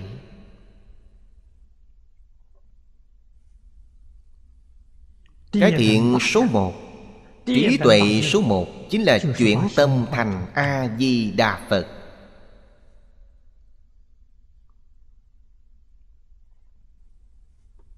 À, Đây là số một trong số một.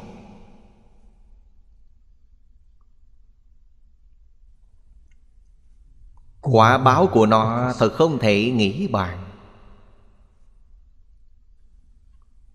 Thứ 11 là Diệu Thanh Trang Nghiêm. Tịnh độ Diệu Thanh Thâm Viện. Thiện văn ư thập phương giả Âm thanh di diệu của tịnh độ là gì? Phẩm cuối cùng trong Kinh Vô Lượng Thọ nói là diệu âm. Chính là âm thanh di diệu của tịnh độ Nam Mô A Di Đà Phật. Là câu danh hiệu này. Câu danh hiệu này biến Pháp giới hư không giới. Người nghe được phước. À, Chỉ cần lọt qua tai Thì vĩnh viễn là hạt giống của đạo nghiệp À, Họ nghe âm thanh này là có duyên với Phật A-di-đà Tuy đời này duyên chưa thành thục Còn phải luân hồi trong lục đạo. Nhưng họ đã có duyên với Phật A-di-đà Đã có sự liên quan. Như vậy đời sau nhân duyên thành thục Thì chủng tử này sẽ khởi tác dụng. Khẳng định đầy đủ tính nguyện hành đầy đủ thiện căn phước đức nhân duyên. Họ liền được giảng sanh.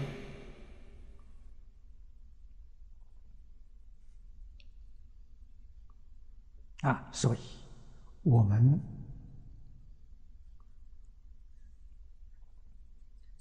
trong cách đối nhân sự thế nhất định cần phải học phật a di đà. Khoan hồng độ lượng. Người niệm Phật mà còn tạo ra vô số tội nghiệp Thì không nên trách cứ họ. Giao tiếp với họ cũng không cần khuyên họ. Vì sao? Bởi nghiệp chướng nặng Họ không quay đầu được Cứ tùy họ. Đợi khi nghiệp chướng tiêu trừ Trí tuệ sẽ hiện tiền.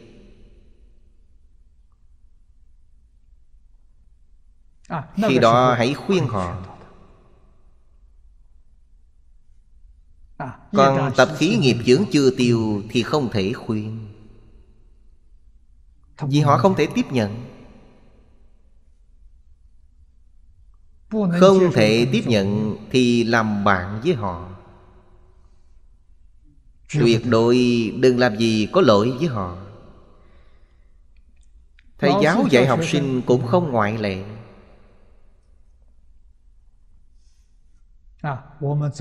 Trước đây tôi học kinh giáo với thầy Lý. Thầy đã mở một lớp học kinh điển. Là Phật giáo Liên xã ở Đài Trung. À, Hơn 20 học sinh ở đây học lớp giảng sư. Tôi tham gia lớp học này. Lớp này chỉ dạy 2 năm. Hơn 20 học sinh học.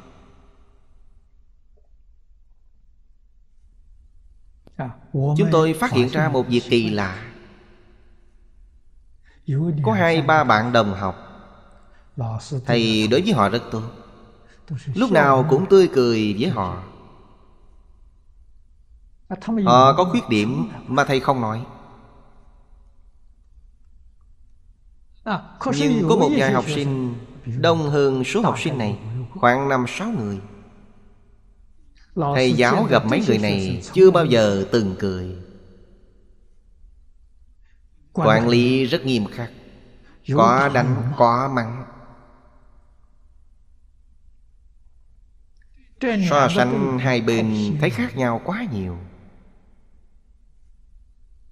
Đương nhiên chúng tôi hoài nghi Nhưng không dám hỏi. Tôi nghĩ thầy giáo thấy được. Nên một hôm thầy kêu tôi vào phòng Nói với tôi về sự việc này. Vì sao mấy người đó đối với họ Thầy luôn cười mà không nói lỗi của họ. Vì họ không thể tiếp nhận. Nếu nói mà họ lập tức đỏ lên. Như vậy là kết oán thù. À, Nên xem họ như học sinh dự thính Họ muốn học thì phát tâm đến báo danh để học. Còn không thì xem họ như học sinh dự thính. Họ học được bao nhiêu thì học Tuyệt đối không hỏi. Còn những học sinh thật sự muốn học Dù có đánh có mắng họ đều tiếp nhận. Đánh cũng không đi. Càng đánh thì lần sau đến họ càng chăm học hơn. Cho nên đối với người chăm học Thì không cần khách khí. Thầy nghiêm mới có trò giỏi Đối với những học sinh không muốn học mà bảo danh Thì coi họ như dự thính Lúc này tôi mới quát nhiên đại ngộ Mới hiểu được dụng tâm của Thầy.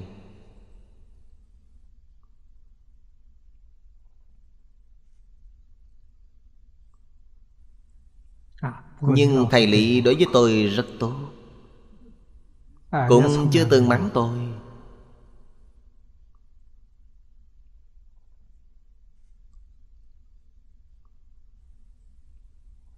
Khi nhân duyên xuất gia của tôi đến Tôi học với thầy Lý học bao lâu? Một năm ba tháng.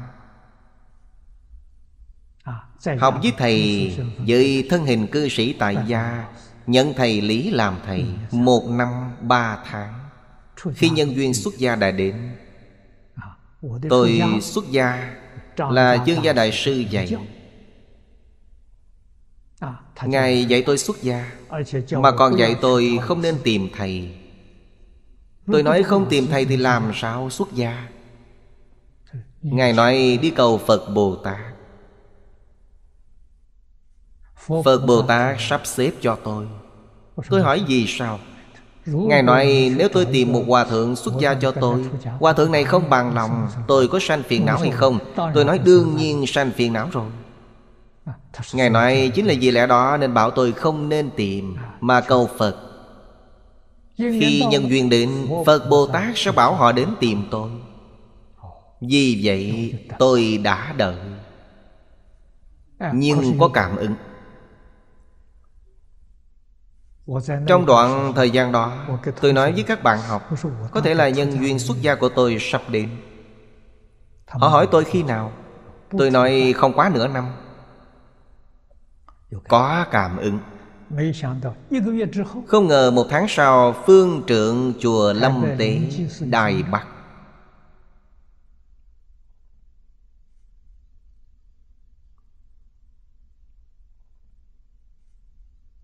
Sai Pháp Sư Tâm Ngộ Đến tìm tôi. Vô cùng quan nghênh tôi đến chùa Lâm Tế xuất gia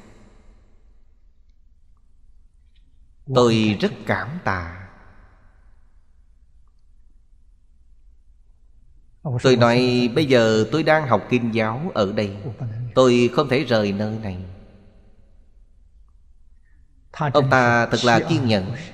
Tôi nhớ trong vòng hai tháng Phương trượng chùa Lâm Tệ Sai người đến chín lần. Thanh tâm như thế Nên tôi đã nhận lời. Tôi thông báo với thầy. Thầy nói tôi sao thế? Người ta gọi là đi liền. Tôi thưa thầy rằng Trong hai tháng họ đến chín lần. Thầy nói ồ. Tôi nói họ rất thành tâm Nên tôi mới nhận lời. Thầy Lý nghe xong rất buồn.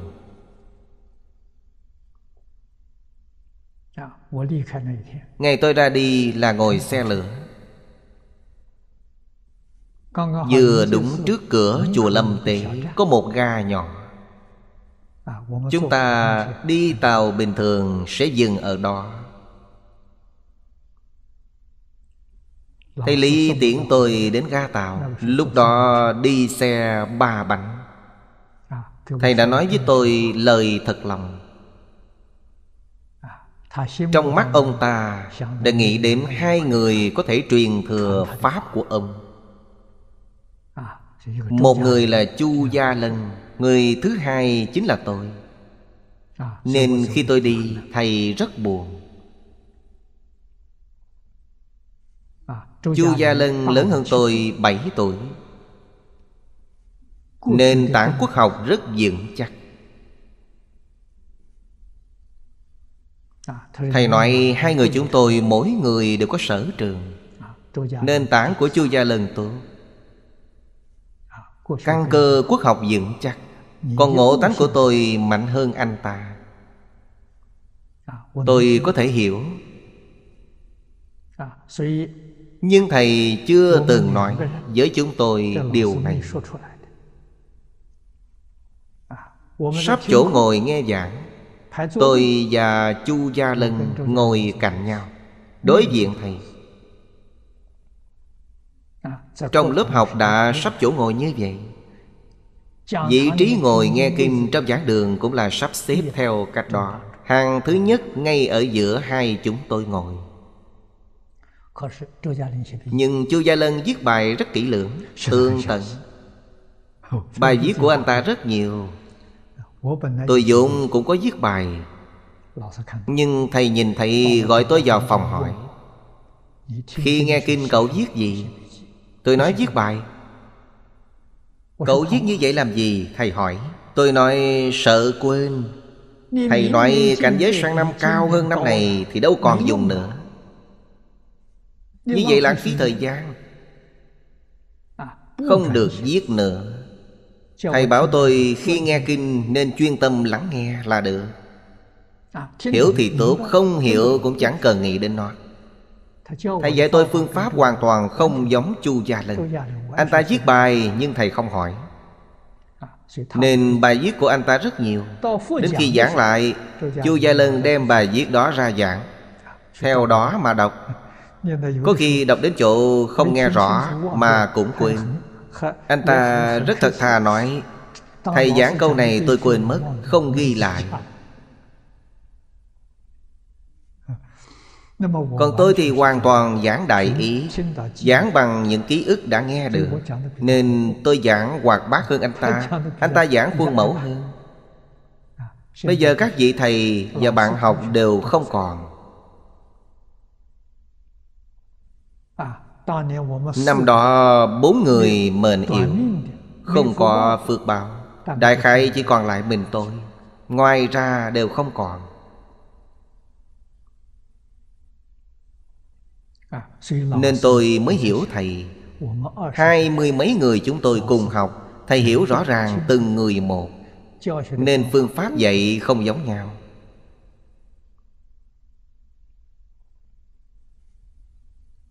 Giáo dục chúng tôi học là giáo dục tư thục.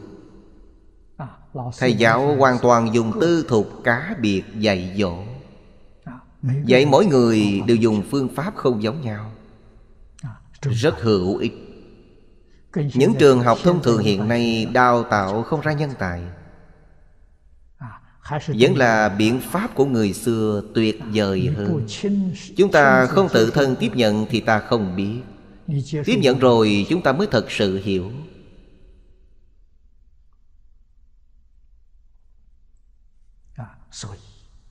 Cho nên âm thanh di diệu Diệu âm của thế giới Tây Phương Cực Lạc Vô cùng trang nghiêm. Tôi cảm thấy 17 loại trang nghiêm này. Diệu âm trang nghiêm là đệ nhất. Câu Phật hiệu này Khi đại thiên tai đến Câu Phật hiệu này có thể cứu giảng thiên tai. Nhưng chỉ tiếc là không ai tin tưởng Nếu như ngày nay người trên toàn thế giới đều biết Đều niệm A-di-đà Phật Thì tai nạn có thể quá giải Nếu quý vị hỏi Vì sao nó có thể quá giải Có lý do. Nhưng lý do này ít nhất phải 10 năm Quý vị mới có thể hiểu rõ ràng. Thời gian 10 năm rất dài. Quý vị niệm sẽ có hiệu quả Còn như không niệm sẽ không kịp. Đạo lý này tôi hiểu. Nên mỗi ngày giảng kinh tôi đều nói đến vấn đề này. Không nói chuyện khác. Quý vị xem Kinh Vô Lượng Thọ từ đầu đến cuối Không phải là đang nói đến câu Phật hiệu này sao? Nếu hiểu được vấn đề này thì sẽ biết. Kinh Đại Phương Quảng Phật Hoa Nghiêm phải giảng hết. Phương pháp ngày xưa của tôi cần phải giảng hết. Như vậy cũng phải mất hết hai dạng tiếng đồng hồ. giảng điều gì? Cũng là giảng vấn đề này.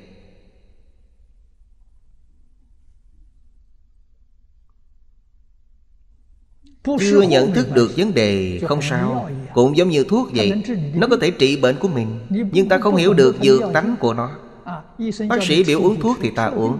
uống rồi bệnh sẽ lành. vấn đề được giải quyết. Còn chúng ta cứ thắc mắc thuốc này làm sao có thể trị lành bệnh của tôi? phải nói rõ ràng tường tận. Có thể đã chết Cứu không kịp nữa. Nên phải giảng kinh. Không giảng người ta làm sao tin được?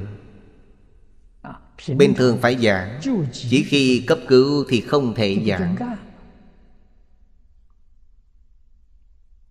Cho nên người có phước đức thiện căn nhân duyên Tuy họ không hiểu nhưng vẫn tiếp nhận và thật sự chiếu theo lời dạy để thực hành. Như vậy họ sẽ đạt được lợi ích. Còn hoài nghi thì vấn đề đã nghiêm trọng. Họ còn phải chịu khổ chịu nạn. Nên bồi dưỡng nhân tài hoàng pháp là công đức đệ nhất. Không có gì thù thắng hơn điều này. Chính mình phát tâm ra hoàng pháp Thật sự y giáo phụng hành hoàng pháp lợi sanh Công đức đó càng lớn. Tu phước tu huệ trong thế xuất thế gian Không ai có thể sánh được họ.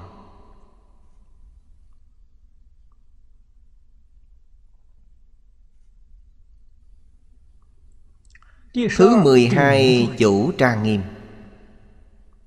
À, chủ, là thầy. Là Phật A-di-đà. À, Chánh giá chi A-di-đà Di Pháp Dương Thiện Trú Trì Giả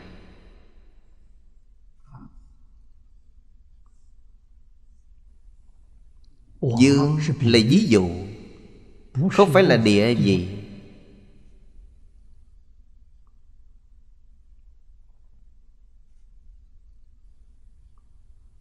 Dương có nghĩa là gì? Dương là tự tại. Quốc dương. Phát ra Hiệu lệnh.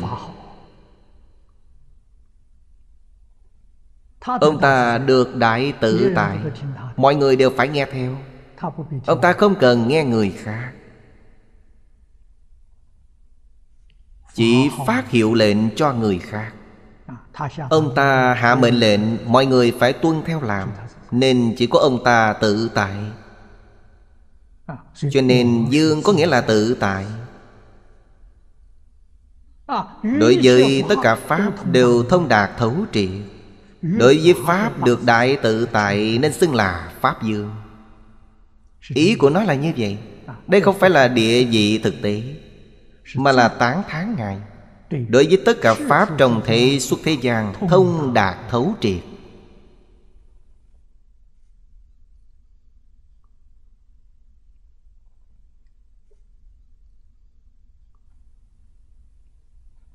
Hiện trú trì cột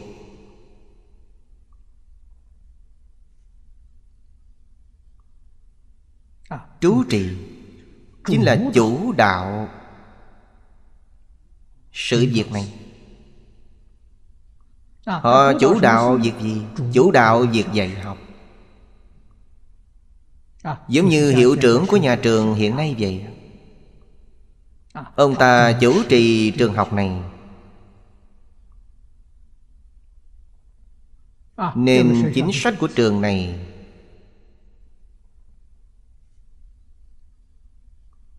Nội dung dạy học Phương pháp dạy học Đều phải nghe ông ta.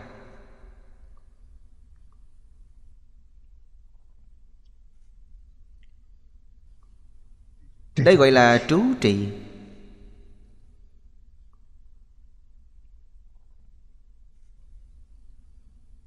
Chánh Pháp cựu trụ Là Ngài đang chủ đạo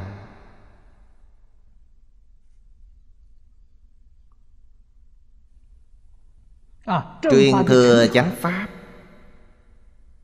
Ngài đang thiết kế. Ngài đang thực hành. Mỗi người giảng sanh ở thế giới Tây Phương cực lạc.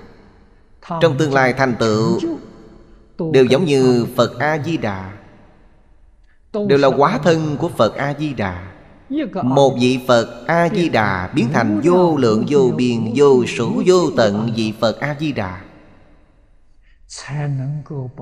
Mới có thể đem pháp môn Vô cùng thù thắng này Truyền khắp biến Pháp giới hư không Pháp giới.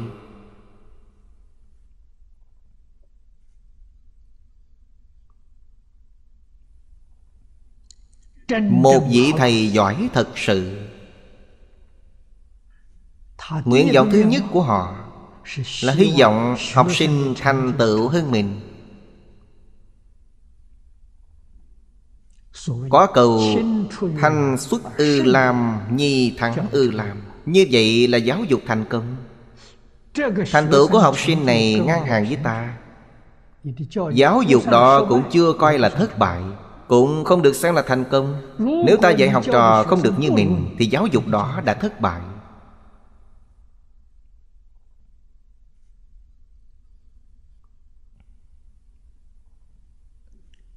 Truyền thừa ở gia đình cũng như vậy.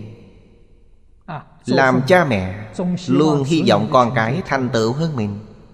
Thì gia đình này mới hưng vượng Nếu đời sau không như đời của mình Thì gia đạo này đang suy yếu. Suy yếu thì sao? Có lỗi với tổ tông. Còn việc dạy học. Dạy học trong Phật Pháp nếu đời sau không thể vượt qua chúng ta Như vậy chúng ta có lỗi với Phật Bồ Tát Có lỗi với chư vị Tổ sư.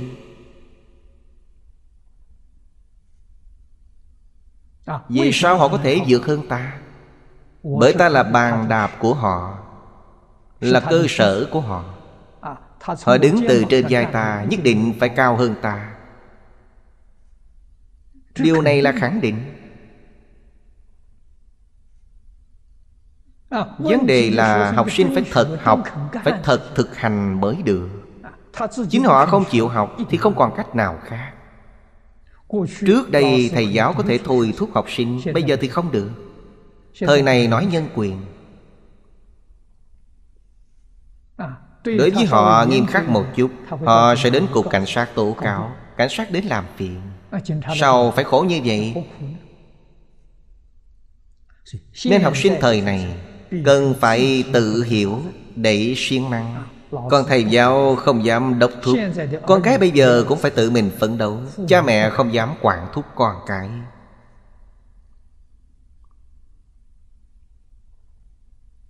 Cho nên, Đạo đức vì sao mà suy yếu, Pháp vì sao mà bị diệt, Đạo lý đều ở đây. Người bây giờ bất hiếu với cha mẹ không tôn kính sư trưởng. Họ làm sao thành tựu được?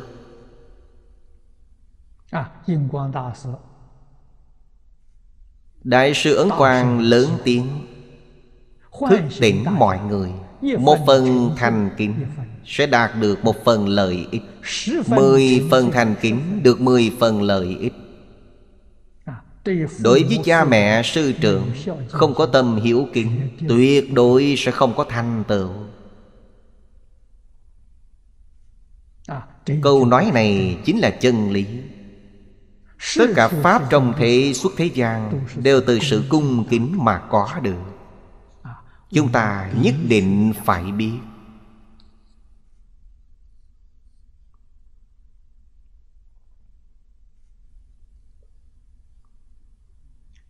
Hết giờ rồi. Hôm nay chúng ta học đến đây. A-di-đà Phật Nguyện đem công đức này Hồi hướng bốn ân và ba cõi. Nguyện khắp Pháp giới các chúng sanh. Đồng sanh cực lạc thành Phật đạo. Chúng Phật tử đạo tràng tịnh độ. Nam Mô A Di Đà Phật